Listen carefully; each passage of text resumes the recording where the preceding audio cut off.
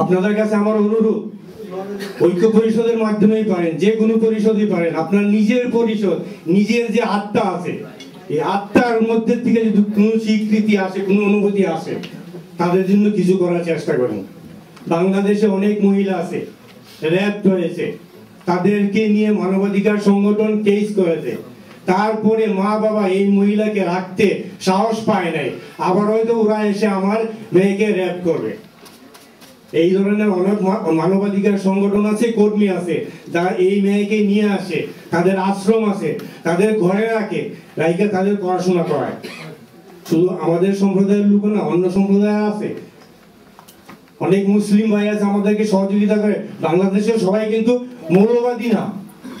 সব যদি মৌলবাদী হইতো আমরা সবাই চলে যেত কিছু না কিছু আছে, তার জন্য এগুলো হচ্ছে। আমি আপনাদেরকে রিকোয়েস্ট করব অন্তত পক্ষে আর যাই কিছুই করেন।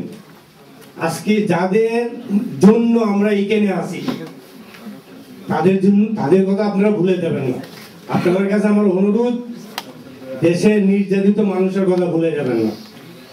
দশ জনে মিলে যদি আপনারা দশ ইউরো করে দেন, এক এক- একশো ইউরো বাংলাদেশে দশ হাজার টাকা। দশ হাজার টাকা দিলে একটা মানুষের ছয়ের ঘর সে বানাতে পারবে। কত মানুষের ঘর ভুলে গেছে। আমরা কেউ খবর রাখি না। আপনাদের কাছে আমার অনুরোধ দেশের নির্যাতিত মানুষকে ভুলে যাবেন না। আমাদের সংখ্যালঘুদের সংগ্রাম আমরা এই এইভাবেই চালিয়ে যাব। আপনাদের সবার সহযোগিতা কামনা করি এবং সবাইকে ধন্যবাদ জানিয়ে আমি আমার বক্তব্য শেষ করতে ধন্যবাদ। ওই দিকে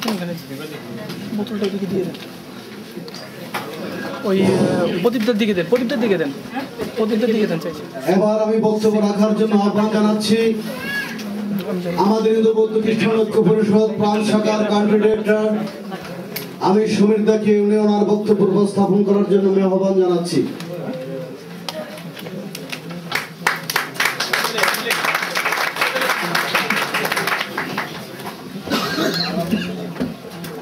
সম্মানিত সুধীমণ্ডলী, সবাইকে নমস্কার। আজকের সভার সভাপতি এবং বাংলাদেশ থেকে আগত আমাদের কেন্দ্রীয় কমিটির সাধারণ সম্পাদক রানাদাস গুপ্ত, এছাড়া ইউরোপের সর্বযুদ্ধ ঐক্য পরিষদের পক্ষ থেকে যেসব নেতৃবৃন্দ এসেছেন। সবার প্রতি রইল আমার আন্তরিক শুভেচ্ছা, নমস্কার, অনেক ধন্যবাদ। কারণ সবাই, সবার সহযোগিতা আজকে আমাদের প্রতি বিশেষ করে, এই জন্যই আপনাদের প্রতি আমি আবারও আন্তরিকভাবে ধন্যবাদ জানাচ্ছি। আমার পূর্ববর্তী যারা বলে গেছেন, অনেক কিছুই। আমি চাই না পুনরায় একই কথা বলে আবার সময় নষ্ট করার জন্য। আমরা যারা এখানে এসেছি, বিশেষ করে বাহিরের সর্ব ইউরোপের এবং বাংলাদেশ থেকে যে আমাদের কেন্দ্রীয় কমিটির সাধারণ সম্পাদক এসেছেন, বিশেষ করে আমরা সবাই আগ্রহী ওনার বক্তব্য শোনার জন্য, অতীতে কি ঘটেছে, কি হয়েছে এবং ভবিষ্যতে হতে বা কি হতে পারে, তাও হয়তো উনি দিক নির্দেশনা দেবেন। এটাই বলছি। এবং সবাইকে অনেক ধন্যবাদ পুনরায়, কারণ যারা এসেছেন, সবার সহযোগিতা, এটাই হচ্ছে আমাদের জন্য অনেক পাওয়া। এবং সব সময়ের জন্য আমরা এটাই কামনা করব আপনাদের কাছ থেকে। এই বলে আমি এখানে আমি বক্তব্য শেষ করছি আপাতত। ধন্যবাদ।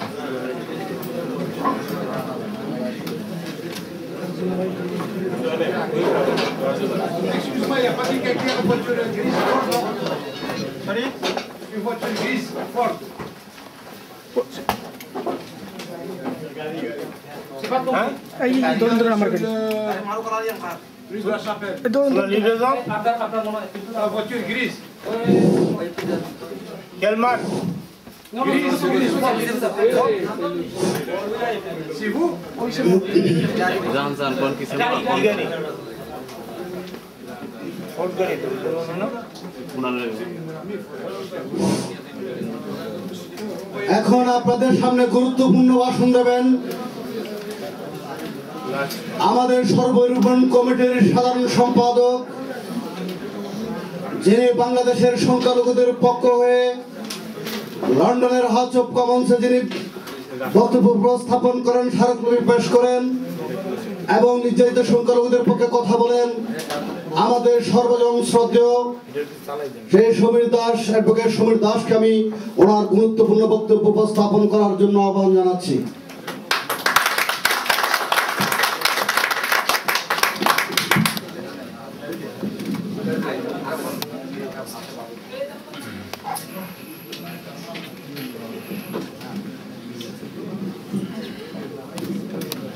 সম্মানিত উপস্থিত শ্রীমণ্ডলী সকলকে আমার নমস্কার। আপনারা যে আজকে এই ধরনের একটা অনুষ্ঠান আয়োজন করতে পেরেছেন এবং আপনারা যারা সকলে সহযোগিতা করেছেন, সবাইকে ইউরোপের এবং সব বাংলাদেশের সব সংখ্যালঘুদের পক্ষ থেকে আপনাদেরকেই সেই ধন্যবাদ জানাচ্ছি এবং আপনারা এইটে চালিয়ে যান, এটাই আশা করব। ভবিষ্যতে আরও আপনারা সুদৃঢ়ভাবে, শক্তভাবে এই কাজটা করে যেতে পারবেন। যতদিন পর্যন্ত আমরা আমাদের সেই লক্ষ্যে না পৌঁছতে পারি। আমাদের সবারই একটাই লক্ষ্য, একটাই আমরা কমন জিনিস আছে যে মাইনরিটিদের পরে অত্যাচারটা যাতে কমে, আমরা কিছু তাদের জন্য করতে পারি কি না পারি। আপনারা এমন একটা জায়গায় দাঁড়িয়ে আছেন যেখানে দাঁড়িয়ে আপনি নির্দ্বিধায় কথাটা বলতে পারেন। কিন্তু বাংলাদেশ এমন একটা জায়গা যেখানে দাঁড়িয়ে আপনি সে কথা বলতে পারবেন না। আজকে রানা দাসগুপ্ত বাবু এখানে আছেন, তিনি যে ঝুঁকি বা যে সকল পরিস্থিতি মোকাবেলা তাদের করতে হয়, আমরা এখানে সে বুঝতে পারব না। আমি নাইনটি সিক্সে দেশ ছেড়েছি, দেশ থেকে লন্ডন এসেছি নাইনটি সিক্স থেকে তাই এরপর থেকেই আমরা নাইনটি এইটে নাইনটিন এইটি এইটে হিন্দু বৌদ্ধ কৃষ্ণ ঐক্য পরিষদ লন্ডনে গঠন করি। এবং তার দুই, তিন বছর পরে আমরা একটা বড় সম্মেলন করি। তারপর থেকেই তার যাত্রা শুরু। কিন্তু নাইনটিন না টু থাউজেন্ড থ্রিতে বাংলাদেশ হিন্দু বৌদ্ধ খ্রিস্টান ইউনিটি কাউন্সিল ইউরোপের সৃষ্টি হয় টোয়েন্টি ফিফথ অফ মে আমরা সেখানে সৃষ্টি করি। আচ্ছা যখন টু থাউজেন্ড ওয়ানে প্রথম গন্ডগোলটা শুরু হয়, ইলেকশনের পর্ব ইলেকশনের কিছুদিন পরেই, আমরা হঠাৎ করে একটা এমপির সঙ্গে দেখা করি ব্রিটেনের কিন্তু সে কিছুই জানে না। সে বলে না, বাংলাদেশে আবার মাইনরিটি আছে নাকি? আচ্ছা তখন আমাদের মনে একটা ধারণা থাকে, কি করা যায়? আমরা কয়েকজন আমরা সিদ্ধান্ত নিলাম। আমরা একটা লিফলেট রেডি করলাম। রেডি করে হাউস অফ কমন্সের সামনে যখন সেশন হয়, তখন সব এমপিরা বের হয় বা এমপিরা ঢোকে। ঠিক নির্দিষ্ট টাইমে লিফলেট নিয়ে ঠিক এমপিদের কাছে, কেন দুই একজন এমপির সঙ্গে কথা বলে তারা জানে না তেমন কিছু। তো তাদের প্রত্যেকে, যখন একজন এমপি আসে, তার কিন্তু একটা রেসপন্সিবিলিটি থাকে যে হ্যাঁ জনগণের কি বলে, কি না তারা তখন সেটা আমাদের কাছ থেকে নিতে থাকল। আমরা হাজার হাজার লিফলেট এইরকম পার্লামেন্টের সামনে দাঁড়িয়ে শুধু এমপিদের টার্গেট থাকল। আমরা অন্য কারও দিতে চাচ্ছি না। শুধু এমপিরা যখন বেরোয় তাদের কাছে দিই। আচ্ছা তার পরবর্তীতে ফলে কি হলো?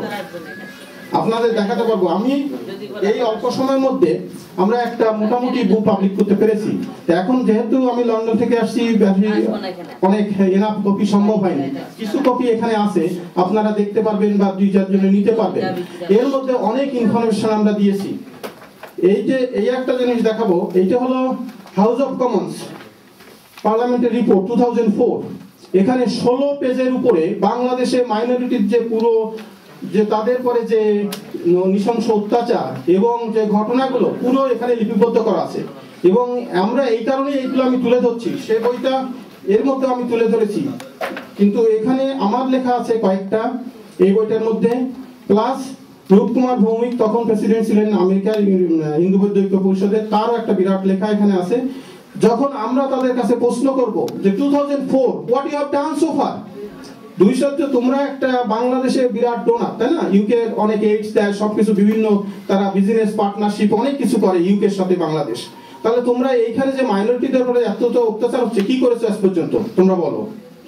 কিন্তু আপনি আরেকটা দেখবেন, আমার এই বইটা লেখা আছে যে বাংলাদেশের য- ফ্রান্সের প্রত্যেকটা দেশের এক একটা পলিসি থাকে। যখন আপনারা এতজন লোক এখানে আসেন, নিশ্চয়ই কেউ না কেউ হয়তো বিভিন্নভাবে রাজনৈতিক সাহায্য অনেক কিছু চেয়ে থাকতে পারেন।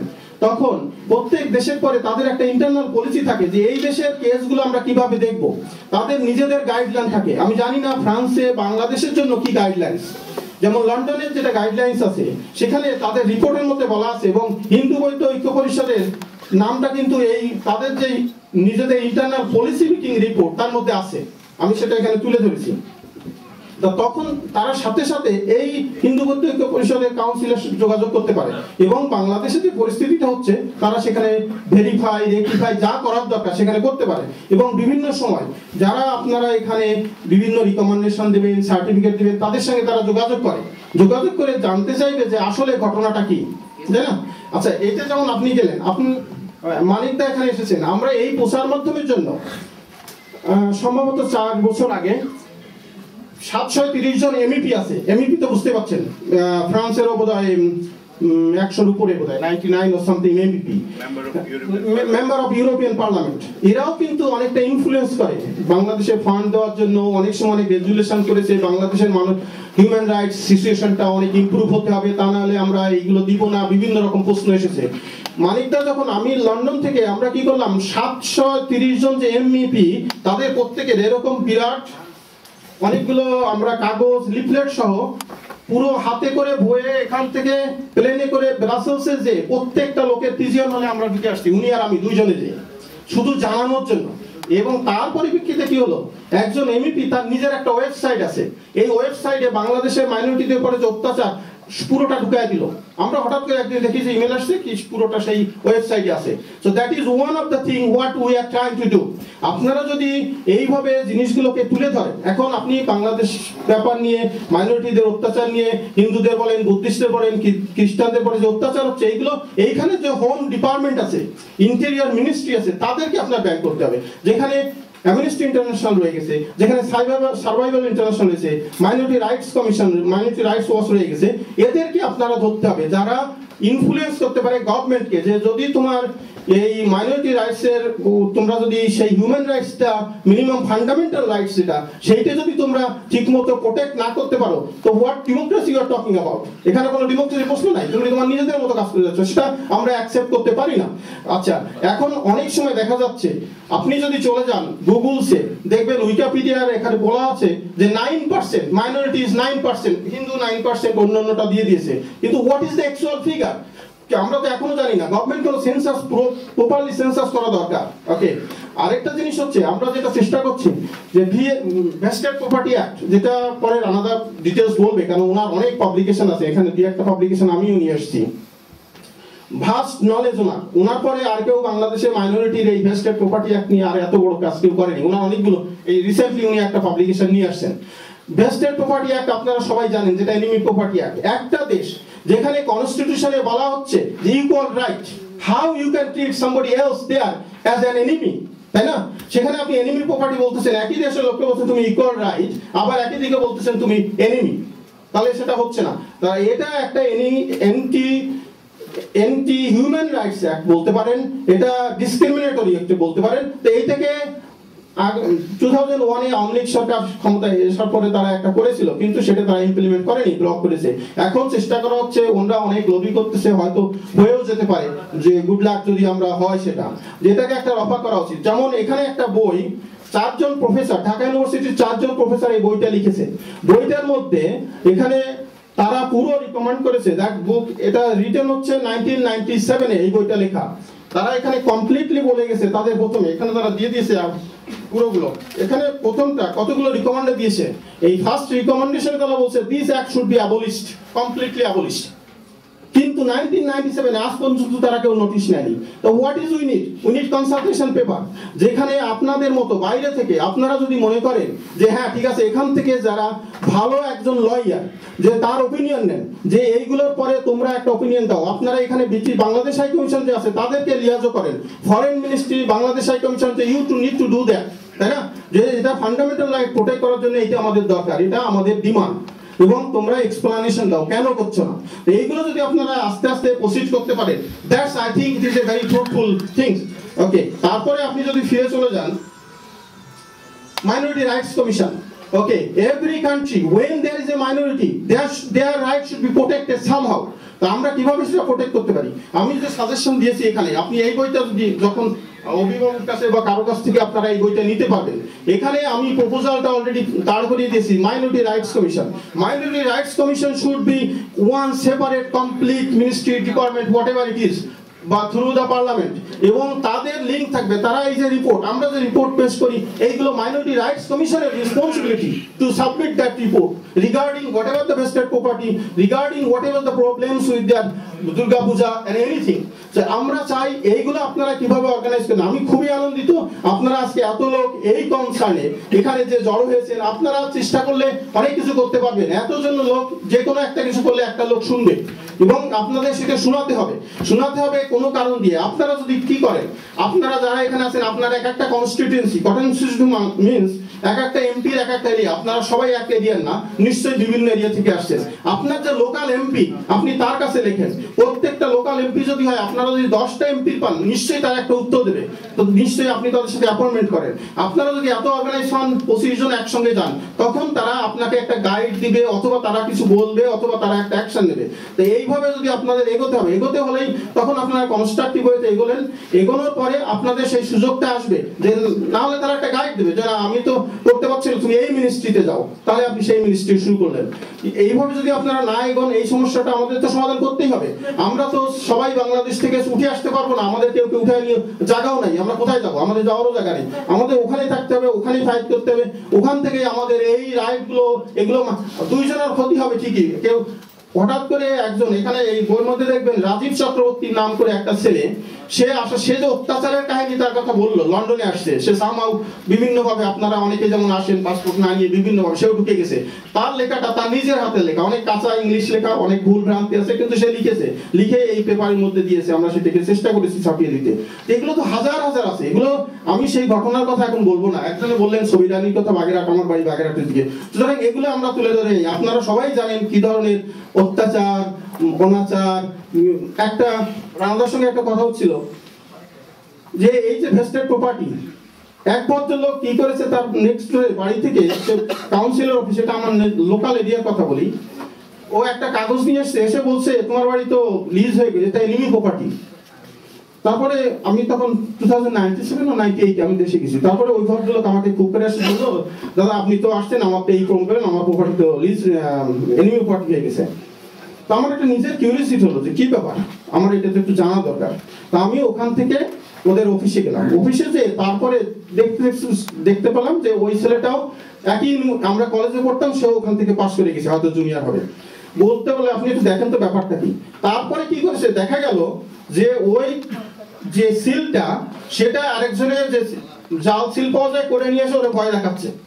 দেখাচ্ছে বলে কিন্তু আসলে তার কেউ যায়নি ওখান থেকে। কেউ তারা দুই ভাই, তারা একজনে মারা গেছে, একজনই প্রপার্টি তো এটা এনিমি প্রপার্টি হওয়ার কোনো প্রশ্নই আসে না।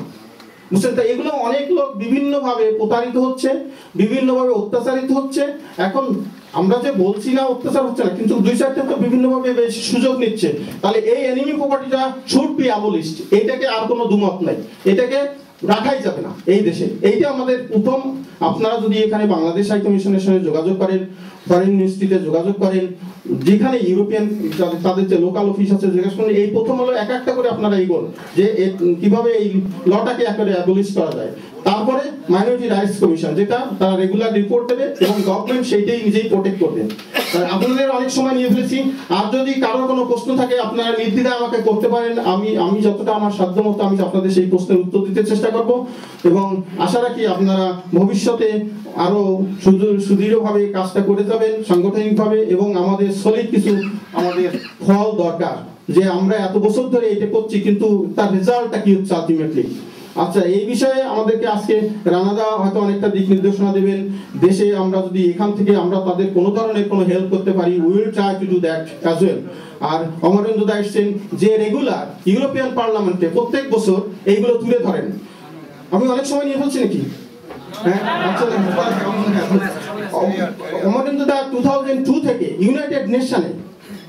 তিনি প্রত্যেক বছর এগুলো তুলে ধরেন মেমোরান্ডাম দেন আমি ইউনাইটেড নেশনে নিউ ইয়র্কে গেছি সেখানেও আমরা এটা তুলে ধরেছি লাস্ট ইয়ারে ফার্স্ট তিন বছর ওখানে হচ্ছে মাইনরিটি রাইটস ফোরাম নাম করে ইউনাইটেড নেশন একটা পুরো ডিপার্টমেন্ট সেট করেছে যেখানে শুধু মাইনরিটিদের কথা বলে এবং বিভিন্ন রকম সাজেশন তারা নেয় বিভিন্ন রকম পার্টিসিপেশন হয় year before last last year না, তার আগে বছর একা গিয়েছিলেন। লাস্ট ইয়ারে আমি এবং উনি দুইজনেই গেছি, আমার এই বইটার মধ্যে আপনি ছবি দেখতে পাবেন ওখানকার যে চেয়ারম্যান তার সঙ্গে আমরা ছবি তুলেছিলাম এবং বাংলাদেশের মাইনরিটি পুরো তুলে ধরেছিলাম। জেনেভা আমাদের একটা বিরাট কনসার্ন আপনাদের সবার মনে রাখতে হবে যে জেনেভাতে আমরা যেন সবসময় এই হিন্দু ঐক্য পরিষদ আজকে আমি আরও বেশি আনন্দিত যে আপনারা সবাই এইচআরসিবিএম এবং হিন্দু বৌদ্ধ ঐক্য পরিষদ, আমাদের গোল তো একটাই। এইচআরসিবিএম বলেন মাইনরিটি রাইটস কাউন্সিল বলেন, হিন্দু বৌদ্ধ খ্রিস্টান ঐক্য পরিষদ বলেন, আমরা তো একটা কাজ নিয়ে একটা কজ নিয়ে এগোচ্ছি। তো সুতরাং বৃহৎ স্বার্থে আমাদের এক থাকতে হবে। এক থেকে আমরা সেটা কীভাবে আরও এগিয়ে নিয়ে যেতে পারি? আমাদের সেই যে একটাই তো দাবি দাবি তো আর বেশি কিছু না, যাতে আমরা একটা প্রোটেকশন পাই একটা দেশে থাকার জন্য। একটা ন্যূনতম যেন ফান্ডামেন্টাল রাইটসগুলো আমাদের যেন থাকে। আজকে একটা রেশিয়াল ডিসক্রিমিনেশন অ্যাক্ট করা যেতে পারে। যেটা রেশিয়াল ডিসক্রিমিনেশন অ্যাক্ট বলতে, যে যে কোনো অফিসে আপনি ইউকেতে দেখবেন, আপনি কাউকে তার সেক্সের ভিত্তিতে, তার রেসের ভিত্তিতে, তার রিলিজিয়নের ভিত্তিতে তাকে ডিসক্রিমিনেট করতে পারবেন না। তার যদি ব্রেন ঠিক থাকে, তার যদি কোয়ালিফাই হয়, তাকে আপনার নিতেই হবে। সে কালো হোক, সে সাদা হোক, সে মহিলা হোক, যেই হোক না কেন। তো আমাদের তো সেই ধরনের কিছু নেই। আমরা চাই সেকে that's government has to government has to strictly maintain that one that is what we want mainly তাই না? আমি কম্পিটিশনে না পেতে পারি। দ্যাটস নট মাই আমার কোনো দুঃখ থাকবে না। কিন্তু আমাকে যদি আমার ধর্মের কারণে, আমাকে যদি আমার অন্য কোনো কালচারের কারণে, আমাকে যদি সেটা থেকে বঞ্চিত করা হয়, তাতে আমার ফান্ডামেন্টাল রাইট আমার থাকছে না। তাই না? আচ্ছা এর মধ্যে তাহলে অমরেন্দ্র বাবু এইভাবে করলেন মানিক বাবু আছেন, উনি ব্রাসেলসে, যেখানে ইউরোপিয়ান পার্লামেন্ট থেকে পুরোটা রেগুলেট হচ্ছে। ইউরোপিয়ান পার্লামেন্ট অনেক স্ট্রং ভূমিকা নেয় বাংলাদেশের অর্থনীতিতে বলেন টেকনোলজিতে বলেন, বিভিন্নভাবে। এবং যেটা ইউনাইটেড নেশনই হোক, তাদের সিকিউরিটি কাউন্সিল বিভিন্ন বিভিন্ন জায়গা তো মানিকটা আছেন, ওখান থেকে উনি এগুলো কাজগুলো করছেন। আচ্ছা ঠিক আছে? আপনাদের অনেক সময় নিয়ে নিলাম। থ্যাংক ইউ আপনারা যদি অন্য কোনো প্রশ্ন কারও থাকে, আমাকে করতে পারেন। আমি চেষ্টা করব যথাসাধ্য উত্তর দেওয়ার জন্য। আজকের এই সম্মেলন আপনাদের পুরো সাফল্যমণ্ডিত হোক এটি আশা রাখি। থ্যাংক ইউ আপনাদের অনেক ধন্যবাদ।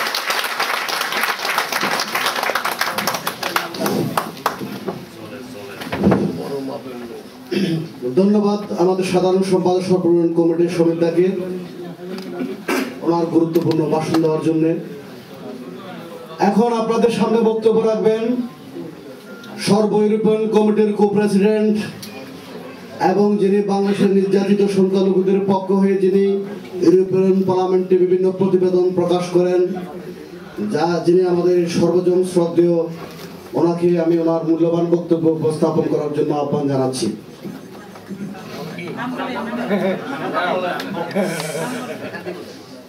আমি দুঃখিত। আমি ওই মানিক দাকে, আমার সময় মানিক পালকে আমি ওনার গুরুত্বপূর্ণ বক্তব্য উপস্থাপন করার জন্য আহ্বান জানাচ্ছি।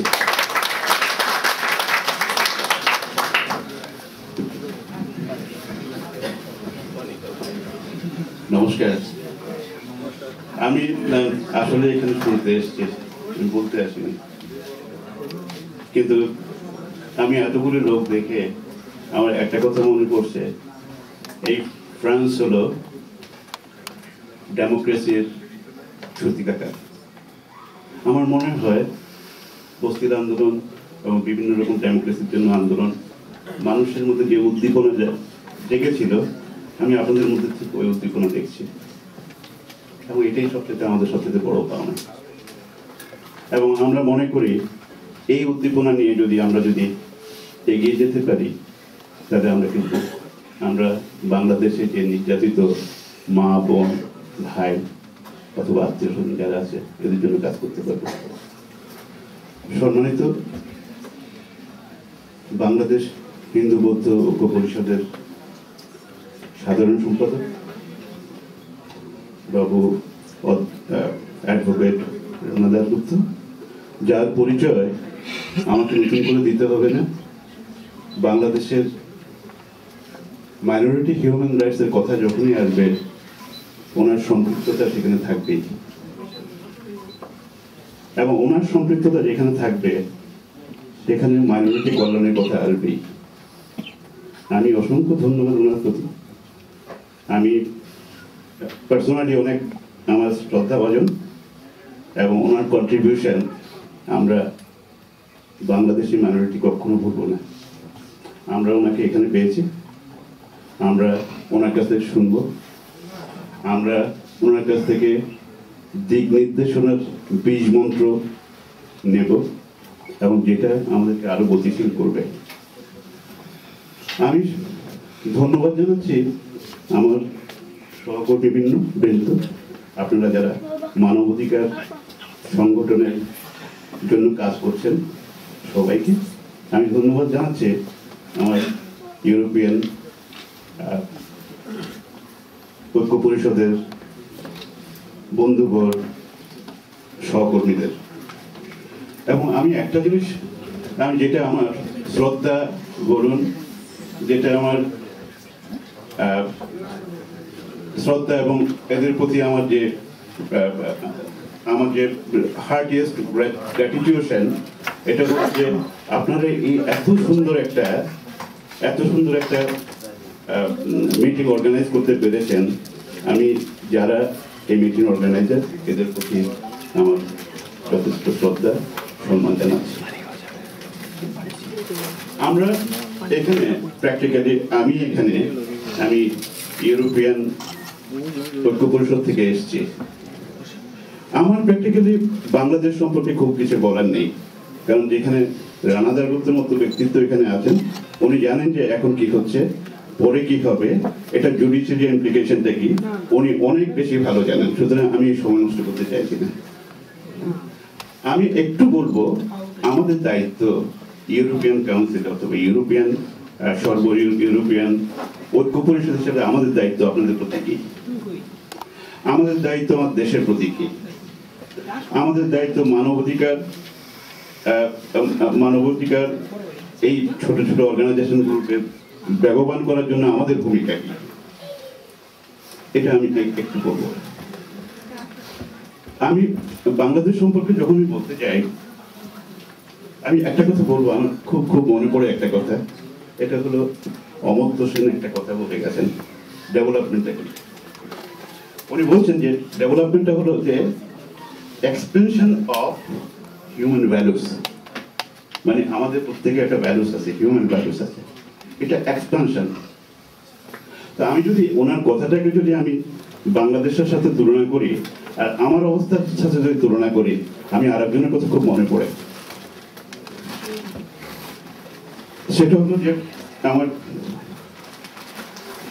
একটা একটা কবিতার প্রথম যে কবিতার নামটা, সেটা হলো জন্ম আমার আজন্য প্রাপ দাউদ হাজারের কবিতা। আমার আমার বন্ধুবর দাউদ হাজার তো ওর কথাটা আমার মনে পড়ে এবং আমার মনে হয় মনে হয় যে আমি বোধহয় আমার জন্ম আমার আজন্য পাপ। ওই জায়গাতে জন্ম হয়ে বোধহয় আমার আজন্য পাপ হয়েছে। কিন্তু মাতৃভূমি আমার ধর্মীয়ভাবে হোক, মাতৃভূমির পজিশন কিন্তু আমার স্বর্গের চেয়ে বেশি। জননী জন্মভূমির চেয়ে মাতৃভূমি স্বর্গ যদি গড়িয়সী, তার মানে জননী প্রথম, মাতৃভূমি, তারপর স্বর্গ। তার মানে হলো যে মাতৃভূমিকে আমি কিন্তু দ্বিতীয় স্থান দিয়েছি।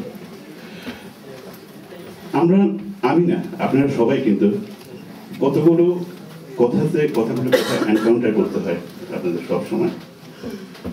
আমি সবসময় একটা কথা ফিল করি কি, এটা রাজনৈতিক সমাধান দিয়ে কিন্তু কখনো পুরোপুরি ভাবে এই যে মাইনরিটি রাইটসটা স্টাবলিশ করা যাবে না।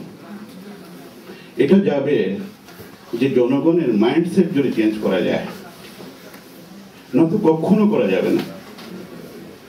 এখন জনগণের মাইন্ডসেট যদি চেঞ্জ করতে হয়, তাহলে আমাকে কি করতে হবে? আমাকে আমরা যখন, আমরা যখনই বলি মাইনরিটি হিউম্যান রাইটসের কথা বলি, তখন কিন্তু ইনডাইরেক্টলি আমাদের একটা অ্যান্টিগোনাস্টিক অ্যাপ্রোচ আসে? তার মানে হলো যে একটা বিদ্বেষপূর্ণ অ্যাপ্রোচ আসে। মেজরিটিটা বলে বলে যে এরা অ্যান্টি বাংলাদেশি এরা গভর্নমেন্টের বিরুদ্ধে কথা বলছে হ্যাঁ? এবং এরা বাংলাদেশের ভালো চায় না। এটা এটা কিন্তু সবাই হয়তো এই ধরনের এই ধরনের অবস্থায় বোধহয় আপনারা ফেস করেন। এখন আমি যদি বলি, আমি বিদেশে থেকে হ্যাঁ?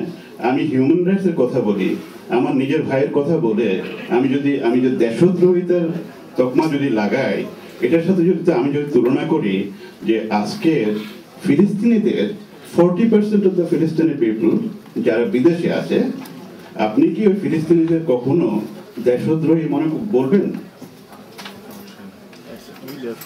দুর্ভাগ্যজনক ভাবে আমি বলছি, আমাদের নেত্রী, এখনকার নেত্রী, উনি একটা মিটিং এ বলে গেছেন। আমি আমি খুব অবাক হয়ে গেছি যে হিন্দুদের আরও বেশি প্যাট্রিয়ট হওয়ার জন্য।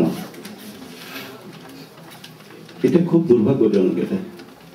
এই জন্য আমি বলছি বলছি যে ওরা যদি চল্লিশ ভাগ লোক যদি বাইরে থেকে যদি ওরা যদি বেশি ওদেরকে যদি আপনি যদি পেট্রিয়ট মনে করেন, তাহলে কেন হিন্দুদেরকে পেট্রিয়ট মনে করছেন না? এই জন্য আমি বলছি যে মাইন্ডসেটটা চেঞ্জ করতে হবে। এখন মাইন্ডসেট চেঞ্জ করতে গেলে আমাদের অ্যাপ্রোচটাও কিন্তু চেঞ্জ করতে হবে। আমাদের অ্যাপ্রোচটা চেঞ্জ করতে হবে এভাবে। আমাদের মেজরিটি বন্ধু যারা আছে, ওদের কাছে এমনভাবে অ্যাপ্রোচটা করতে হবে, হিন্দু প্রবলেমটা অথবা মাইনরিটি প্রবলেমটা দিস ইজ এ রিয়েলিটি এটা একটা রিয়ালিটি এটা ওদেরকে অনুভব করতে হবে।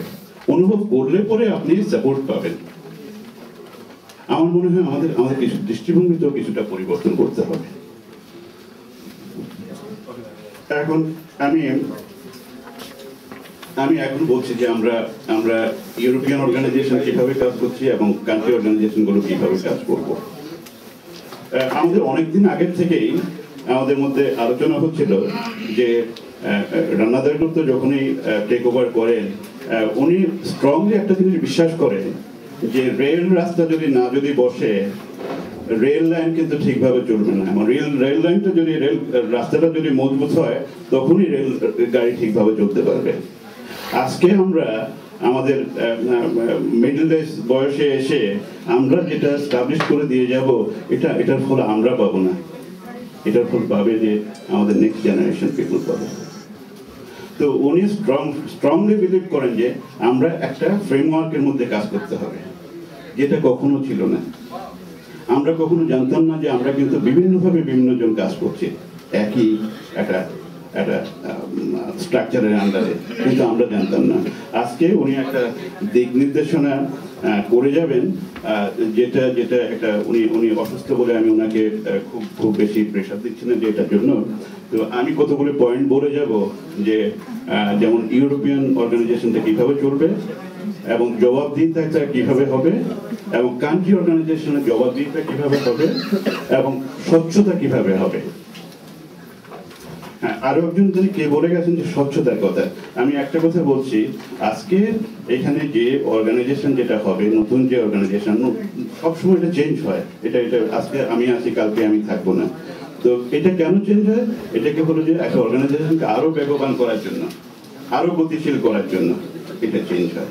কারণ এখন এখানে এবং আমাদের যে দায়িত্ব সেটা হলো যে আরও বেগবান আরও গতিশীল হওয়ার জন্য একটা স্ট্রাকচার একটা ফর্মুলা দেওয়ার জন্য। তো সেটা আমার একটু দায়িত্ব যে আপনাদেরকে একটু একটু জানানো যে কি ধরনের ডাইরেক্টিভসটা হবে। আমরা আরও ডিটেলস পরে হ্যাঁ সেকেন্ড রাউন্ডে ডিটেলস আমরা আমরা এটা এটা আলোচনা করব। এটা এটা কর্মী সবার মধ্যে আলোচনা হবে যে আমরা এক একটা পয়েন্ট তাই এখন কি বলব কি? এখন কিছু কিছু বলে যাই হ্যাঁ এখন কিছু। হ্যাঁ সেকেন্ড রাউন্ডে আমরা আমরা ডিটেলস কর্মী সভাতে আলোচনা করব যে এটা ইমপ্লিকেশনটা কি। বলুন। হ্যাঁ এটাই। আমি যেটা বলছিলাম উনি অসুস্থ, যার জন্য ওনার পক্ষ থেকে আমি বলছি এটা। হ্যাঁ ওনার কথাটাই আমি আমি আমি বলছি। এটা হলো, এটাকে আমরা বলব যে গাইডলাইন বলব। যে একটা অফিস যখন চলে, একটা স্ট্রাকচার যখন চলে, একটা গাইডলাইন থাকে। ঠিক ওই গাইডলাইনটা কীভাবে হবে এটা প্রযোজ্য আমাদের, যেহেতু আমরা ইউরোপে আছি, আমাদের ইউরোপিয়ান কমিটির জন্য প্রযোজ্য। অ্যাট দ্য সেম টাইম যে ইউরোপে যেসব কান্ট্রি চ্যাপ্টারগুলো আছে, এদের জন্য প্রযোজ্য। আমি খুব সংক্ষেপে বলছি এখানে। পরে সেকেন্ড চ্যাপ্টারে গিয়ে সেকেন্ড চ্যাপ্টারে কর্মী সভা যখন হবে, তখন আরও বিভিন্ন এটা আলোচনা করা হবে। তো আমি যেটা যেটা বলছি, এটা হলো যে প্রথমটা হলো যে যে ইউরোপিয়ান স্ট্রাকচার আছে আমাদের যেটা যেটা বিএসবিসি ইউসি ইউরোপ যেটা বলি। হ্যাঁ এটা কি? এটা অনেক সময় অনেকে প্রশ্ন করে এটা কি? এটার কাজটা কি? হ্যাঁ, তো এখানে উনি খুব ক্লিয়ারলি বলছেন এটা হলো একটা কোঅর্ডিনেটিং বডি এটা হলো একটা কোঅর্ডিনেটিং বডি যে যে যে বিভিন্ন কান্ট্রিগুলো যে আছে এগুলো কোঅর্ডিনেট করার জন্য। এবং এই যে কোঅর্ডিনেশনটা হবে এটা কোঅর্ডিনেশনটা হবে ডাইরেক্টলি সেন্ট্রালের সাথে। এটা অনেকটা মন্ত্রিসভার মতোই। যে বিভিন্ন দপ্তরে বিভিন্ন মন্ত্রী আছে, কিন্তু প্রাইম মিনিস্টার আছে। আর ঠিক ওইভাবেই আমরা এটা যে আপনাদের কান্ট্রি চ্যাপ্টারগুলোতে কী করে ভালো করে চলতে হয়, কীভাবে চলা উচিত এবং কীভাবে আপনাদের কোন প্রবলেমগুলো আছে, এটা আমরা ডাইরেক্টলি কোঅর্ডিনেট করে আমরা সেন্ট্রাল থেকে আমরা অ্যাডভাইস নেব যে কি করে চালানো যায়। এটা হলো মেইন আমাদের আমাদের ইউরোপিয়ান কমিটির মেইন উদ্দেশ্য। আর আপনারা পিছনে শুনতে পাচ্ছেন কি? শুনতে পাচ্ছেন? আচ্ছা হ্যাঁ, কারণ এই ধরনের প্রশ্ন কিন্তু আমি সম্মুখীন হই আর এখন এতগুলি লোকের সাথে যখন বলা যাচ্ছে আমি খুব খুশি হচ্ছি যে ওনার পক্ষ হয়ে বলতে পারছি এই কথাগুলো। তো এটাতে হলো যে যখনই একটা কমিটি যখন ফর্ম হবে কোনো কান্ট্রিতে কান্ট্রি কমিটিগুলো ফরমেশনের জন্য আমরা ইউরোপিয়ান কমিটি থেকে আমরা আপনাদেরকে ফ্যাসিলিটেট করব, আমরা আমাদেরকে উৎসাহ করব এবং কীভাবে এটা ফরমেশন হতে হয় সেটারও আমরা অ্যাডভাইস করব। এবং এটার এই অ্যাডভাইসার করার পরে যে ফরমেশন যেটা হবে সেটার যে অ্যাপ্রুভাল যেটা হবে, এটা অ্যাপ্রুভাল কমিটি হবে ইউরোপিয়ান কমিটি ইউরোপিয়ান কমিটি যখন অ্যাপ্রুভ যখন করবে, তখন সেন্ট্রাল কমিটি এটাকে অ্যাকনলেজ করবে। এটা দিস ইজ দ্য প্রসেস এই প্রসেসটা এবং এই প্রসেসটা এই জন্য, কারণ সেন্ট্রাল কমিটি ঠিক কান্ট্রিগুলোতে জানে না যে কে অ্যাকচুয়ালি ডেডিকেটেড লোক আছে, কাদের দিয়ে কাজ করতে হয়। আমরা ডাইরেক্টলি গিয়ে কান্ট্রিতে গিয়ে আপনাদের সাথে কথা বলে আমরা বলতে পারব যে কাকে দিয়ে কতটুকু বেগবান কাজ হবে এফেক্টিভ কাজ হবে। সুতরাং এটা হলো যে এটা এটা অনেকটা অ্যাপ্রুভিং অথরিটি তারপর হলো যে আপনাদের কি কাজ? যেমন আমার এই ইউরোপিয়ান কমিটির কি কাজ? ইউরোপিয়ান কমিটির কাজটা হলো যে একটু কান্ট্রি কমিটির থেকে একটু ভিন্ন কাজ।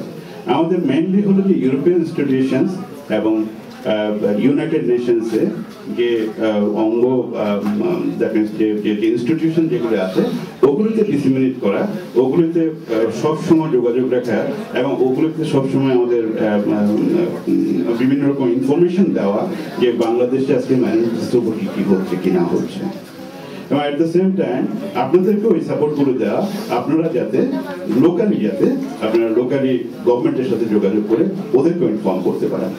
আজকে আমাদের জন্য সবচেয়ে বড় সুযোগ কি জানো তো? ইউরোপ একটা একটা বিশাল একটা পাওয়ার এবং এটা পলিটিক্যাল পাওয়ার আজকে বোধহয়, আজকে পৃথিবীর মধ্যে সবচেয়ে অন্যতম পলিটিক্যাল পাওয়ার আজকে এর ইনফ্লুয়েন্স আমাদের ছোট ছোট কান্ট্রি ছোট ছোট কান্ট্রি সমস্ত ইউরোপের, সমস্ত পৃথিবীর কান্ট্রির উপরে কিন্তু অর্থনৈতিকভাবে, সামাজিকভাবে কিন্তু প্রচণ্ড রকম পলিটিক্যালি প্রচণ্ড রকম প্রভাব আছে। সুতরাং আমরা যদি ইউরোপিয়ান ইনস্টিটিউশনস এবং ওয়ার্ল্ড ব্যাংকে ওয়ার্ল্ড ইউনাইটেড নেশনসকে যদি আমরা যদি কনভিন্স করতে পারি যে আমাদের উপরে এই অত্যাচার হচ্ছে তোমরা এই অত্যাচারটা দেখো। তো ডেফিনেটলি ওই ধরনের এক্সপোজার যদি দিতে পারেন আপনারা খুব ফ্রুটফুলি কাজ করতে পারবেন। এবং এটাই আমাদের জন্য সুযোগ সুযোগ সবথেকে সুবিধা। তারপর আহ, তারপর হলো যে আমাদের কাজের মধ্যে আছে যে রিপ্রেজেন্টেশন রিপ্রেজেন্টেশন মানে আমরা যখনই আমাদের যেখানে যে হিউম্যান রাইটস ইস্যুতে যখন কথা হবে, তখন আমরা বাংলাদেশকে, বাংলাদেশের হিউম্যান রাইটস ইস্যুটা আমরা তুলে ধরবো এখানে। হ্যাঁ তুলে ধরার মধ্যে ব্যাপারটা হলো যখনই আপনি যখন এক্সপোজার যখন পাবে, লোকজন যদি আজকে কেন কেন প্যালেস্টাইনদের কথা এত এত বলছিল কেন আপনার কথা জানে না? আপনাকে খুব কেয়ারফুলি দেখতে হচ্ছে কেন আপনাদের কথা জানে না? এই সমীরবাবু যে বলল বলল যে যে ওখানে জানে না, প্রথম প্রথম জানে না যে বাংলাদেশে এরকম কিছু একটা হচ্ছে। তো এটা কেন জানে না? কারণ আমাদের এক্সপোজার কম। হ্যাঁ সুতরাং আপনারা হলো এক্সপোজারের জন্য এক একটা কর্মী যে প্রত্যেকভাবে আপনারা আপনাদের কমিউন থেকে শুরু করে জেনারেল সিটিজেন যারা আছে, ওদেরকেও জানাবেন যে দেখো, আমরা আমরা সংখ্যালঘু বলে এই লোক আছে। এই এই সংখ্যালঘুরা আমরা নির্যাতিত হচ্ছে এবং এইভাবে নির্যাতিত হচ্ছে। এটা আপনারা একটা একটা লোকজনের এটা একটা এক্সপোজ করবেন এবং এটার কিন্তু মূল্য অনেক বেশি অনেক বেশি।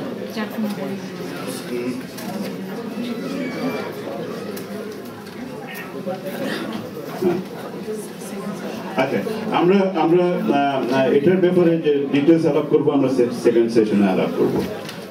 এখন আমরা, এখন আমি বলব যে আপনাদের নতুন কমিটি যে হবে কয়েকজন বলছে নতুন কমিটির জন্য বলছে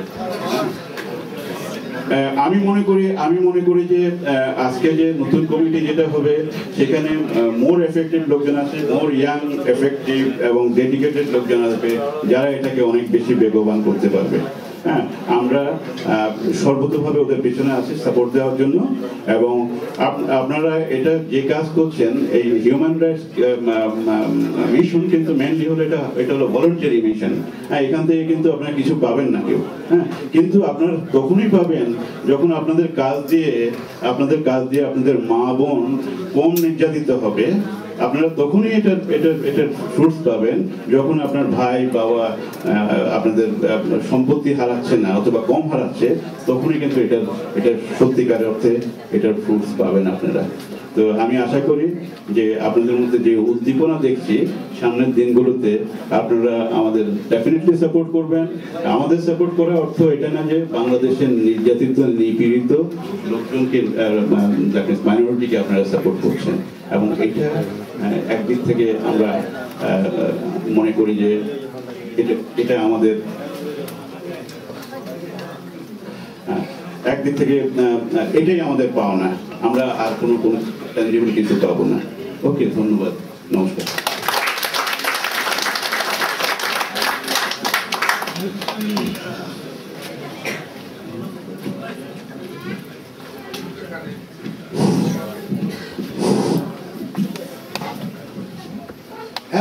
আপনাদের সামনে বক্তব্য রাখবেন সর্ব ইউরোপিয়ান কমিটির সম্মানিত সভাপতি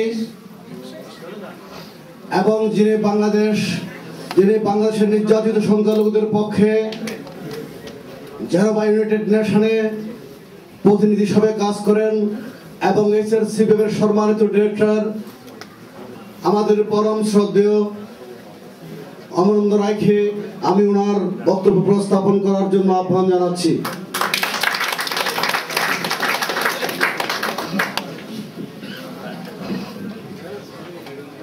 নমস্কার সবাইকে।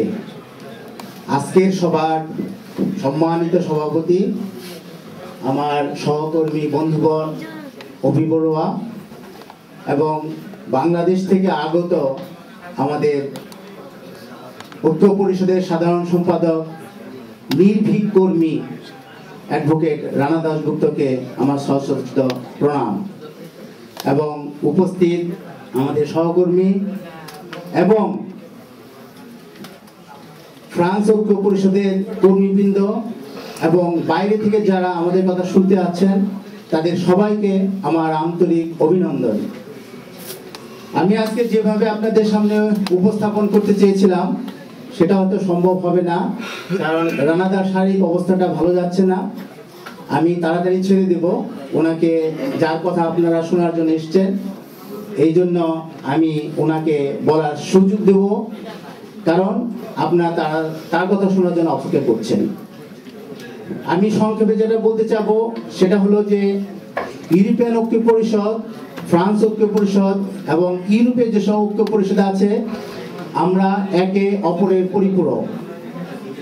আমরা প্রত্যেকেই যে যেখান থেকে পাচ্ছি, সেখান থেকে আমরা কাজ করার চেষ্টা করছি এবং করব বাংলাদেশের সংখ্যালঘুদের যতদিন পর্যন্ত নির্যাতন বন্ধ না হবে। বন্ধুগণ, আজকে আমরা বাংলাদেশে একটা অগ্নি পরীক্ষার সম্মুখীন হয়েছি। বাংলাদেশের যে সংখ্যালঘুরা আছে, তারা সেই নাইনটিন ফর্টি সেভেন থেকে তাদের ভাগ্যে দুর্ভাগ্য বলে লেখা হয়েছে। কারণ নাইনটিন ফর্টি সেভেনে যখন ভারত এবং পাকিস্তান ভাগ হয়, তখন আমরা পূর্ব পাকিস্তানের যে সংখ্যালঘুরা ছিলাম সেদিন থেকে আমাদের নামে, আমাদের ভাগ্যে সংখ্যালঘু লেখা হয়েছে। আজ সেই নাইনটিন ফর্টি সেভেন থেকে দুই হাজার দশ সালে এসেও আমাদের এই সংখ্যালঘু নামটি মুছে যায়নি। যদিও এই বাংলাদেশের সংখ্যালঘুরা বাংলাদেশকে টিকিয়ে রাখার জন্য বাংলাদেশের সুখে দুঃখে আমাদের পার্টিসিপেশনের কোনো অভাব ছিল না। পূর্ব পাকিস্তানে ভারত বাংলাদেশের যুদ্ধে আমাদের সংখ্যালঘুরা জীবন দিয়েছে। বাউন্ন সালে ভাষা আন্দোলনে আমাদের সংখ্যালঘুরা জীবন দিয়েছে। আর এই ভাষা আন্দোলনের সময় যে সবচেয়ে প্রথম প্রতিবাদ করেছিলেন, তিনি একজন হিন্দু ধীরেন্দ্রনাথ দত্ত। এর আগে বাংলাদেশে তখনও হয়তো ফোরটি পার্সেন্ট মুসলমান ছিল, কিন্তু তারা কেউ প্রতিবাদ করেনি। প্রতিবাদ করেছে একজন হিন্দু। আর এই হিন্দুরাই আজকে আমরা সংখ্যালঘু এবং নির্যাতিত। এরপরে আপনারা জানেন উনিশশো একাত্তর সালে স্বাধীনতা যুদ্ধে বঙ্গবন্ধু ডাকে, সারা দেশের মানুষ, হিন্দু, বৌদ্ধ, খ্রিস্টান, মুসলমান, সমস্ত জাতি মিলে আমাদের স্বাধীনতার জন্য যুদ্ধ করেছি। এই স্বাধীনতা যুদ্ধে যদি তিরিশ লক্ষ শহীদ হয়ে থাকে, তার পনেরো লক্ষ শহীদ হয়েছে সংখ্যালঘু। তারও বেশি হতে পারে, কারণ পাকিস্তান হানাদার বাহিনীর টার্গেট ছিল মালোয়ান হিন্দু, সংখ্যালঘু। এদেরকে নিধন করা। কারণ এদেরকে নিধন করতে পারলেই আমরা তারা বাংলাদেশকে টিকাতে পারবে পূর্ব পাকিস্তানকে টিকাতে পারবে। এরপর আসছে নাইনটি টু, সেখানেও আমরা নির্যাতিত হয়েছি। দুই সালের নির্যাতন, আপনারা সবকিছুই জানেন। এখানে আমার প্রশ্ন হলো যে এই যে সংখ্যালঘুরা ধাপে ধাপে তাদের দেশের শান্তির জন্য, দেশের কল্যাণের জন্য তারা যে রক্ত দিয়ে আসছে, যুদ্ধ করতে আসছে তারা কি পেয়েছে? আমি সমস্ত শ্রদ্ধার সাথে আমাদের জাতির পিতার কাছে, যিনি আমাদের ছেড়ে চলে গেছেন, যিনি দুষ্ট লোকের হাতে নিহিত হয়েছেন, সেই জাতির পিতার কাছে আমার প্রশ্ন। যে সংখ্যালঘুরা আপনার ডাকে সাড়া দিয়ে স্বাধীনতার যুদ্ধ করেছে, জীবন দিয়েছে, মা বোনের ইজ্জত নষ্ট হয়েছে, তাদের প্রতিদানে আপনি কি দিয়েছেন? নবনির্বাচিত বাংলাদেশ যেদিন পৃথিবীর ইতিহাসে প্রথম বাংলাদেশ নাম ধারণ করেছিল, সেদিন আপনি একা প্রতিনিধি ছিলেন। বাংলাদেশের জন্য আপনি করতে পারেন না এমন কিছু ছিল না। কিন্তু সেদিন আপনি সংখ্যালঘুদের কথা ভাবেননি। ভাবেননি যে তাদের নামে একটা ভাগ্যে লেখা রয়েছে শত্রু সম্পত্তি। আমাদের বাংলাদেশ সৃষ্টি হয়েছে সংখ্যালঘুদের যুদ্ধের বিনিময়ে। আমাদের জীবনের বিনিময়ে সাড়ে সাত কোটি মানুষের জীবনের বিনিময়ে আর সাড়ে সাত কোটি মানুষের ভিতরে ছিল থার্টি পার্সেন্ট বা টোয়েন্টি পার্সেন্ট হিন্দু। তাহলে আমাদের কন্ট্রিবিউশনের মূল্য কোথায়? কেন সেদিন সেই নবনির্বাচিত বাংলাদেশের কনস্টিটিউশনে সেদিন থেকে, প্রথম দিন থেকে কেন এই কি বলে এনিমি প্রপার্টি যেটা ছিল সেটাকে বিলুপ্ত করা হলো না? তাহলে কি আমরা বলব, আপনি জাতির পিতা ছিলেন শুধু এক ধর্মের লোকের সাথে? আপনি কি আমাদের জাতির পিতা নন? আমরা কি আপনার জন্য যুদ্ধ করিনি? আমার মা বোন আপনার জন্য জীবন দেয়নি, নির্যাতিত হয়নি? আমরা রক্ত দিয়েছি।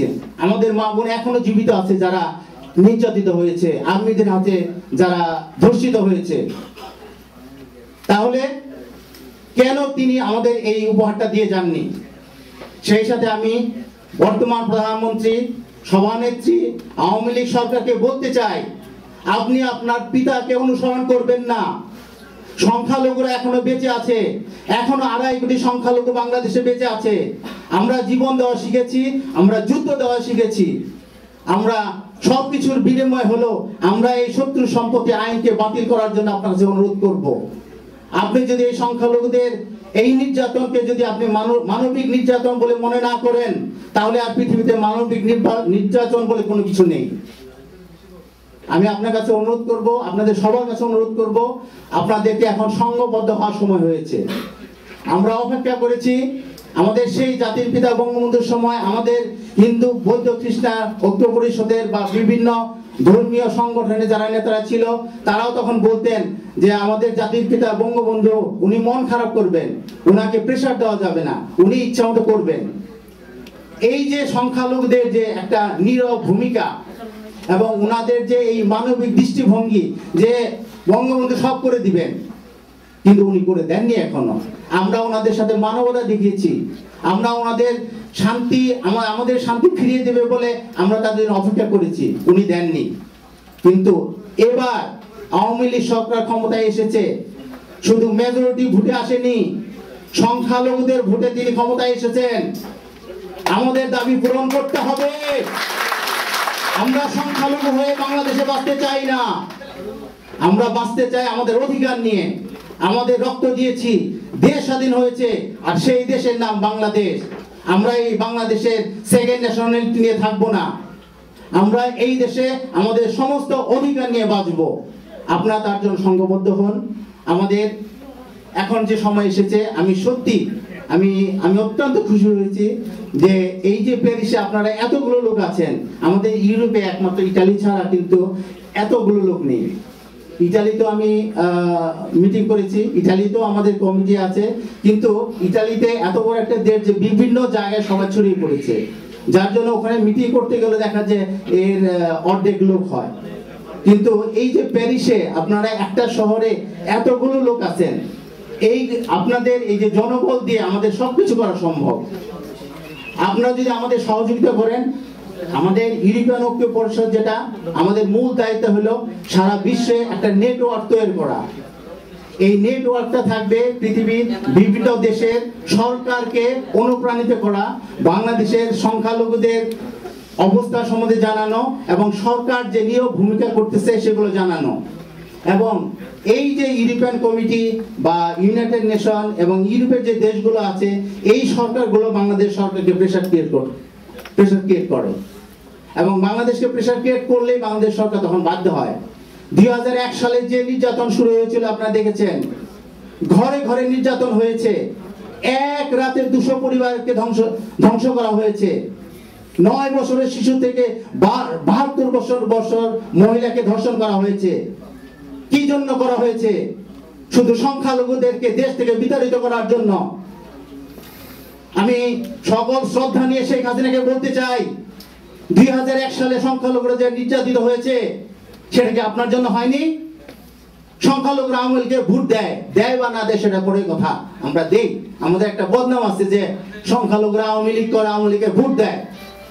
আপনার জন্য যদি আজকে এই সংখ্যালঘুরা নির্যাতিত হয়ে থাকে, আমার মা বোনের ইজ্জত নষ্ট হয়ে থাকে, আপনাকে জবাবদিহি করতে হবে। আপনি দুই বছর হলো ক্ষমতায় এসেছেন, একটা বিচার করেনি।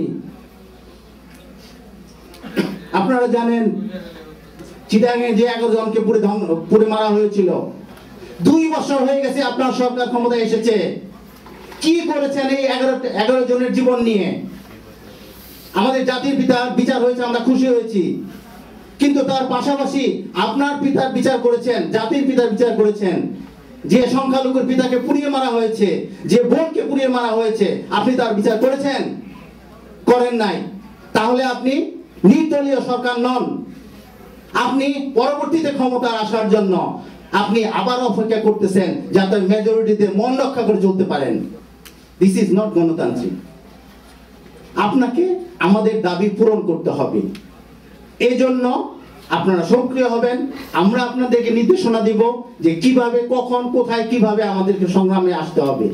আমি আশা করি আপনারা আমাদের ডাকে সাড়া দিবেন। ইউরোপিয়ান ঐক্য পরিষদের যে ভূমিকার কথা বললাম আমরা সারা বিশ্বে এমন একটা নেটওয়ার্ক তৈরি করেছি যে প্রত্যেকটা দেশে আমাদের সৈনিক আছে। আমরা এখন পৃথিবীর এমন কোনো দেশ নাই যে যেখানে আমরা কোনো এম্বাসির সামনে দাঁড়াতে পারব না। হয়তো প্যারিসের সংখ্যায় বেশি হবে, অন্য দেশের সংখ্যায় কম হবে। কিন্তু আমরা প্রতিবার করার মতো একটা শক্তি আমরা অর্জন করেছি। আমি তাই বলব যে আপনারা, আপনাদের ভিতরে যদি কোনো কারও দ্বিধা দ্বন্দ্ব থেকে থাকে কোনো ব্যক্তিগত গ্রাস, ব্যক্তিগত ঈর্ষা সংগঠনের সাথে মেলাবেন না। মানবাধিকার সংগঠন যেগুলো আছে, যাদেরকে মনে করবেন যে তারা সংখ্যালঘুদের জন্য কাজ করে, আপনার সার্বিকভাবে তাদেরকে সহযোগিতা করবেন। একটা জিনিস আপনাদেরকে সামনে বলে রাখা ভালো, যে আমি ইউরোপিয়ান ঐক্য পরিষদের সভাপতি, কিন্তু পাশাপাশি HRCBN human rights congress for Bangladesh minority যেটা আছে সেটার আমি এক্সিকিউটিভ ডাইরেক্টর আর না, আমি হলো ডাইরেক্টর আর মানিক বাবু হলো এক্সিকিউটিভ ডাইরেক্টর আর সমীর বাবু হলো উনি আমাদের ডাইরেক্টর এইচআরসিবিএম এর একটা ভূমিকা হলো যে তারা ইউনাইটেড নেশনের রেকগনিশন পেয়েছে। তারা ইউনাইটেড নেশনের এনজিও সদস্য হয়েছে। তারা আমাদের তারা ইউনাইটেড নেশনে যেভাবে কাজ করে, আমরা সেই কাজগুলো আমাদের ইউনাইটেড নেশনে আমাদের রেকগনিশন আছে। যেহেতু আমি এইচআরসিবিএম এর পক্ষে কাজ করি সেহেতু আমাদের ইউনাইটেড নেশনে আমাদের এইচআরসিবিএম এর নামে আমাদের একটা অফিস আছে। আমাদের ইউনাইটেড নেশনে আমাদের একটা বেস আছে। যে বেসের মাধ্যমে আমরা যখন তখন ইউনাইটেড নেশনে গিয়ে যে কোনো মিটিং এ পার্টিসিপেট করতে পারি। সো আমি বলব যে আমি এইচআরসিবিএম এর কথাটা এই জন্য বলতেছি যে প্যারিসে এইচ আর এইচআরসিবিএম আছে। যদি কোনো কারণে এদের সাথে কোনো রকম দ্বন্দ্ব থেকে থাকে, দ্বিমত থেকে থাকে হ্যাঁ সেটা, সেই দ্বিমতগুলোকে সাংগঠনিক কাজে মেলাবেন না। আপনারা এইচ আর এইচআরসিবিএম পক্ষে কাজ করবেন, হিন্দু বৌদ্ধ খ্রিস্টান ঐক্য পরিষদে কাজ করবেন, যদি কোনো ম্যানিফেস্টে আসতে হয়, আপনারা মিলে ম্যানিফেস্ট করবেন। এটা আমার অনুরোধ আপনাদের কাছে। কারণ হলো, আমরা এক হাতে যদি যুদ্ধ করি, আমাদের একটা বন্দুক থাকবে। আমরা দুই হাতে করে দুইটা থাকবে, তিন হাতে করে তিনটা থাকবে। আমরা সবাই একটা দিকে চলছি, সেটা হলো সংখ্যালঘু নির্যাতন বন্ধ করতে হবে। সংখ্যালঘুদের দাবি পূরণ করতে হবে।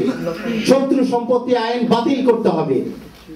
তাই আমি অনুরোধ করব যে আপনারা মানব অধিকার সংগঠন যেগুলো আছে, সবার সাথে মিলে কাজ করবেন। যদি কোনো প্রোগ্রাম আসে অ্যাক্টিভিটিস আসে, আপনারা একে অপরের সাথে যোগাযোগ করে সংখ্যায় মেজরিটি মাস্ট বি গ্র্যান্টেড একটা কথা মনে রাখবেন আমরা সংখ্যায় যদি বেশি হয় তাহলে সেটা যতটা ইফেক্টিভ হবে, আর পাঁচজনে একা গিয়ে একটা কিছু দিলে সেটা তার চেয়ে কম হবে। যাই হোক, আমি যে কথাটা আপনাদেরকে বলে শেষ করব, কারণ হলো রানাদা ওনার শরীরটা ভালো যাচ্ছে না, সেটা হলো যে সাংগঠনিক নিয়ম অনুযায়ী যে কথাগুলো রানাদার বলার উচিত ছিল ওনার শারীরিক অসুস্থতার জন্য উনি বলতে পারছেন না। সেই কথাগুলো মানিক বাবু ওনার পক্ষ হয়ে বলবেন। প্রথম সেমিনারে যে কথাটা হয়ে গেছে, সেটা হয়তো আপনার গরমের জন্য বা দীর্ঘক্ষণ বসে আছেন বলে হয়তো মনোযোগ করে শুনতে পারেননি। আমি আশা করব যে সম্মানিত সভাপতি, ঐক্য পরিষদের সর্ব ইউরোপীয় কমিটির নেতৃবৃন্দ ফ্রান্স কমিটির নেতৃবৃন্দ উপস্থিত মা, ভাই বোনেরা।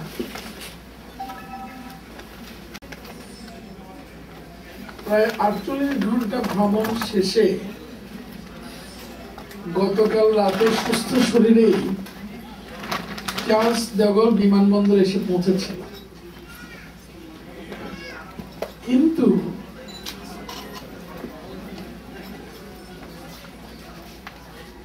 গতকাল দিবাগত রাত থেকে শারীরিকভাবে ভীষণভাবে অসুস্থ হয়ে পড়েছে। আমার ভাবতে খুব খারাপ লাগছিল, শরীরের অবস্থাটা এমনই ছিল যে বিকেলের সম্মেলনে আদৌ যোগ দিতে পারব কিনা সেই সম্পর্ক আমার একটি ভীতি ছিল। তারপরেও এই কথাটি বলব সকালে শারীরিক অসুস্থতা যা ছিল, এই মুহূর্তে তা নেই। আপনাদের আশীর্বাদে আমি এখানে উপস্থিত হয়েছি। আজ থেকে একুশ বছর আগে প্যারিসে আমি একবার এসেছিলাম। উনিশশো অষ্টাশির বিশে জুন সংবিধানে অষ্টম সংশোধনী হিসেবে রাষ্ট্রধর্মের সংযোজনী হয়েছিল, আপনারা জানেন। পঁচাত্তরের পনেরোই আগস্ট, বঙ্গবন্ধুকে নৃশংসভাবে খুন করার পরে, আপনাদের নিশ্চয়ই মনে তৎকালীন স্বৈরশাসক এরশাদ ভোটারবিহীন নির্বাচনে নির্বাচিত পার্লামেন্টে তিনি রাষ্ট্র ধর্ম আইন সংযোগ করতেন। যে রাষ্ট্রধর্ম সংযোজনের মধ্য দিয়ে বাংলাদেশের আড়াই কোটি মানুষকে জাতিচ্যুত করা হলো এবং সাংবিধানিকভাবে তাদেরকে দ্বিতীয় শ্রেণির নাগরিকে পরিণত করা হলো। এর প্রেক্ষিতেই তো ঐক্য পরিষদের জন্ম। ঐক্য পরিষদ স্লোগান তুলল আমরা ধর্মীয় রাষ্ট্র নয়, ধর্মনিরপেক্ষ রাষ্ট্র চাই। এবং আমরা পঞ্চম এবং অষ্টম সংশোধনী বাতিল চাই। প্রশ্ন হলো, আমরা কারা? আমরা দুঃখের সাথে লক্ষ্য করেছিলাম। সংবিধানের এই অষ্টম সংশোধনী সংযোজনের আগে স্বৈরশাসক এরশাদ জেলা পরিষদ বিল পার্লামেন্টে পাশ করা হয়েছিল যে জেলা পরিষদ মিলে ছিল জেলা পরিষদগুলোতে সামরিক বাহিনীর প্রতিনিধিত্ব থাকবে সেদিন বাংলাদেশের রাজনীতিতে আট দলীয় জোট, সাত দলীয় জোট এবং পাঁচ দলীয় জোট ছিল। আট দলীয় দলীয় জোটের নেত্রী ছিলেন আজকের প্রধানমন্ত্রী মাননীয় জননেত্রী শেখ হাসিনা। সাতদলীয় জোটের নেত্রী ছিলেন আজকের বিরোধী দলীয় নেত্রী সাবেক মাননীয় প্রধানমন্ত্রী বেগম খালেদা জিয়া এবং পাঁচ দলীয় জোটটা ছিল মূলত আমাদের বাম ধারার যারা নেতারা, তাদের একটি ঐক্যবদ্ধ জোট আট দল, সাত দল, পাঁচ দল সেদিন ঐক্যবদ্ধ ভাবে মাঠে দাঁড়িয়ে তারা স্বৈরশাসকের জেলা পরিষদ বিলের বিরুদ্ধে করেছে। এবং শেষ পর্যন্ত রাষ্ট্রপতি এরশাদ যিনি পার্লামেন্ট থেকে বিলটাকে পাশ করিয়ে নিলেন, তিনি সেদিন ঐক্যবদ্ধ আন্দোলনের চাপে তিনি সেই জেলা পরিষদ বিলটিকে তিনি আর অনুমোদন করেন ভিত্তিতে আমি সংশোধনী আইন যেভাবে ঐক্য পরিষদ প্রস্তাবনা করছে, তার আলোকে আমি আইনটা করি আমরা খুশি হলাম। চব্বিশে আগস্ট আবার ভূমি মন্ত্রণালয়ের সংসদীয় স্থায়ী কমিটির বৈঠক হলো। ভূমি মন্ত্রণালয় সংক্রান্ত স্থায়ী কমিটির সভাপতি মোজাম্মেল সাহেব ডাকলেন আবার। আমরা গেলাম। আমরা আবার বললাম, নতুন করে তো কোনো কথা বলার নেই। যা জানুয়ারিতে বলেছি, সে কথা এখন। আমাদের কথাটা হলো, দায়িত্ব তো আপনাদের, আপনারাই করবেন আমাদের নতুন করে কিছু বলার নেই। চব্বিশে আগস্টের ঠিক চার দিন পর। আগস্ট। জন্মাষ্টমী উপলক্ষে বঙ্গবঙ্গ প্রধানমন্ত্রীর গণভবনে ইনি একটি শুভেচ্ছা সম্মেলনের আয়োজন করেন। সেই শুভেচ্ছা সম্মেলনে আমি বক্তা ছিলাম। যে কথাগুলো আপনারা বলেছেন, সব কথাই তুলে হঠাৎ মাননীয় প্রধানমন্ত্রী তার বক্তব্যের মধ্যে হঠাৎ করে এই সুতুলে বললেন, আপনারা অভিন্ন মত নিয়ে আসেন। তখন আমরা ভেবাচাকে খেয়ে গেলাম। এক বছর ধরে সরকারের সাথে আলোচনা যা হলো, ঐক্যমতের ভিত্তিতেই তো হলো। এর মধ্যে তো কোনো ভিন্নতা নাই। উনি অভিন্ন মতের কথা বলছেন কেন? তখনই আমাদের কাছে মনে হয়েছে আমলা এবং সরকারি দলের মধ্যে যারা ভেস্ট ইন্টারেস্টেড কোয়ার্টার তারা প্রধানমন্ত্রীকে অন্যভাবে বোঝানোর চেষ্টা করেছে। তারা তাদের যে গাফি